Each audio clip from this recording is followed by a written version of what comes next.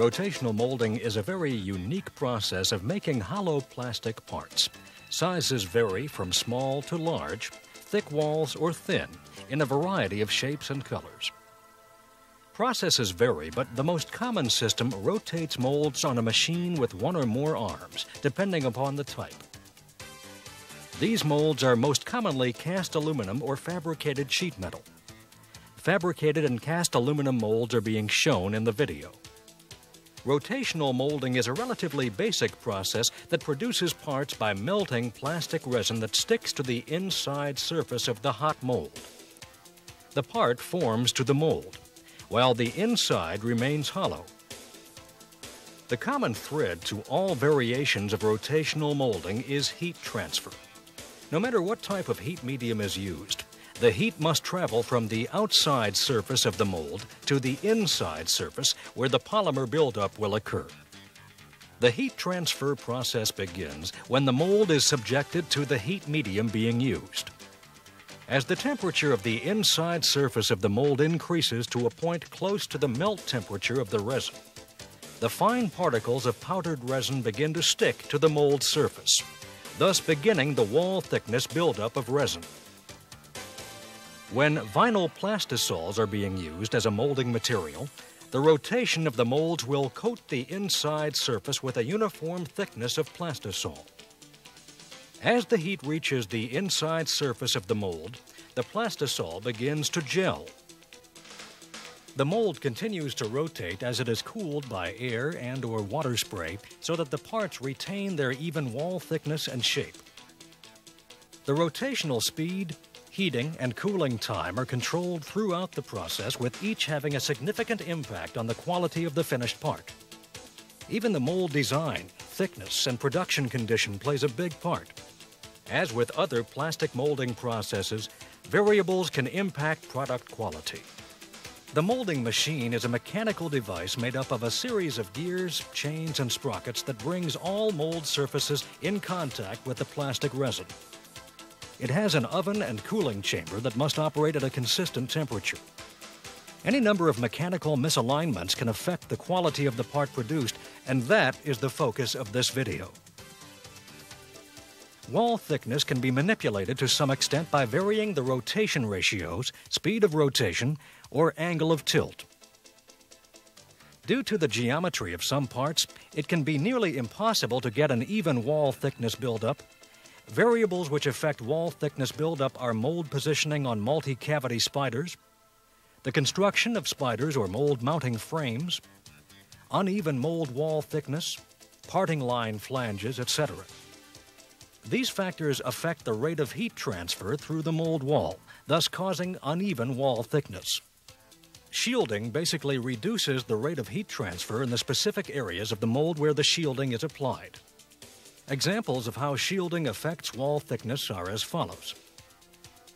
Number one, if the part has areas which are thinner than desired and areas which are thicker than required, you would shield the thick areas to reduce heat transfer, thus causing the material to build up at a different rate than the unshielded areas. With some experimentation, you'll be able to balance the rate of material buildup to yield even wall thickness. This use of shielding could create the need for somewhat longer molding cycles. 2.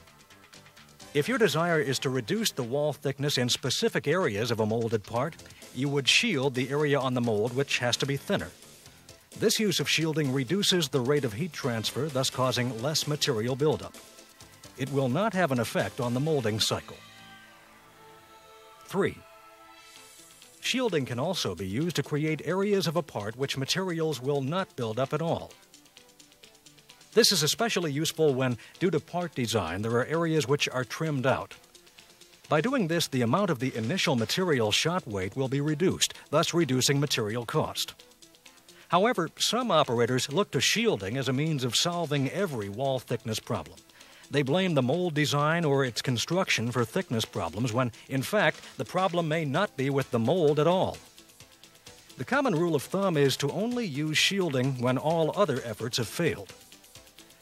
Correcting uneven wall thickness should start with a checklist.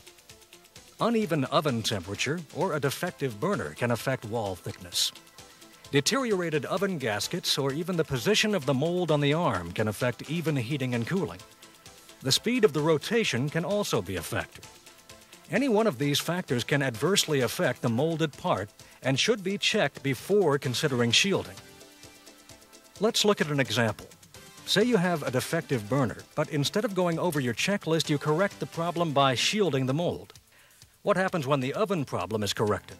You'll end up with a part problem again, but this time it's caused by your shielding. Making sure all of your mold equipment is working correctly should always be your first step to correct any wall thickness problem. Then, if you still have a problem, shielding could be your next step. Several methods can be used to shield a mold. The method selected depends upon such factors as the desired results, the shape of the mold, and the area to be shielded, among other things.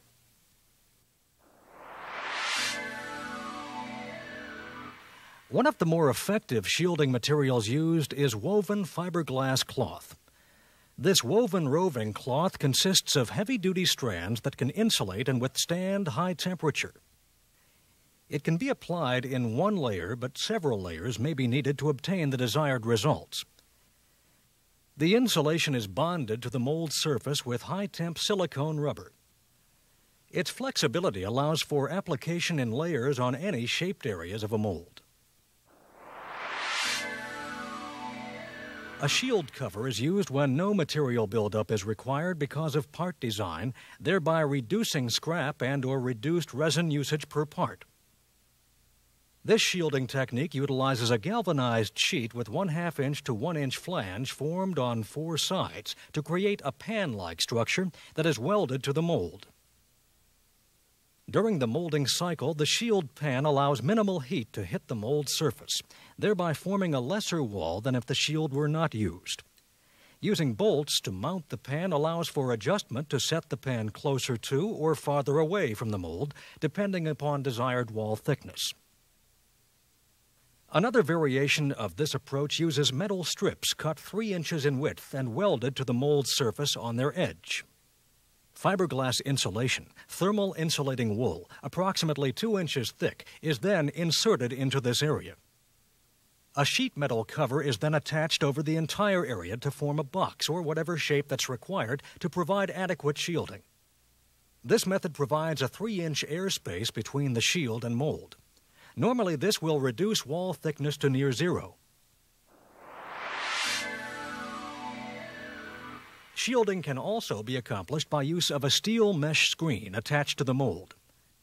This does not completely block the heat but interrupts its flow as the mold rotates. The smaller the mesh, the more shielding will take place and the thinner the wall. This technique is normally used on large areas to reduce wall thickness. Multiple layers of mesh may be used to increase the amount of shielding. Screen is usually found from 1 quarter inch mesh down to window screen size, depending on the amount of heat deflection needed.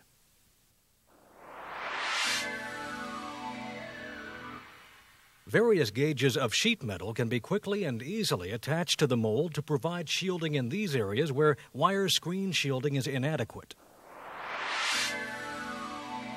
Teflon can be used on the inside of the mold to prevent material from forming in a specific area.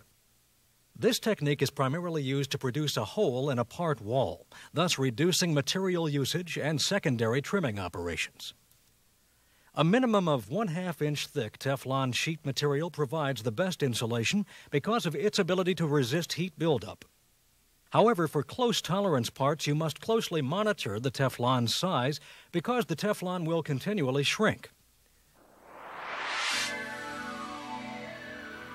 Normally, flow gain nozzles are used to direct heated air on specific mold areas. However, some success in reducing heat can be accomplished by mounting a flow gain nozzle horizontally to the mold surface, thereby interrupting the flow of heated air to the surface of the mold. Regardless of the shielding technique used, the goal is to produce a perfect part each and every time. Shielding is not an exact science. It requires a great deal of trial by error. Experiment with these techniques, and you will find a solution that works for you. You'll be on your way to making quality parts more efficiently and with less waste. Warning Shielding is an inexact and constantly evolving science. This video neither addresses all information involving nor uses of shielding in rotational molding. The information presented was culled from a variety of sources. While ARM and its contributors believe these to be reliable sources of accurate information, we make no guarantees, warranties, or other representations as to the completeness or accuracy of such information. ARM and its contributors will assume no liability for loss or damage suffered through reliance upon this video or its contents. The viewer is solely responsible for obtaining updated or additional shielding information beyond that presented in this videotape.